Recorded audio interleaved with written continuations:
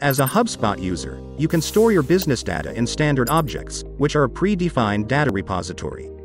Previously, HubSpot's four groups of objects were limited to contacts, companies, deals, and tickets.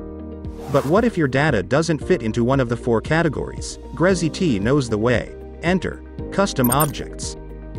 They allow you to define objects as per your business needs. Enterprise accounts can use custom objects in service, sales, marketing, and CMS hubs. Grazitti has been able to capitalize on the feature of custom objects with which you can personalize marketing emails, trigger workflows as per custom object values, achieve flexibility and scalability with your CRM data, handle data modeling and analysis, categorize and associate your data. Not sure how to leverage the true power of custom objects? Our HubSpot aces would be happy to lay the groundwork for you. Just drop us a line at info at grazitti.com or scan the QR code. And we'll take it from there.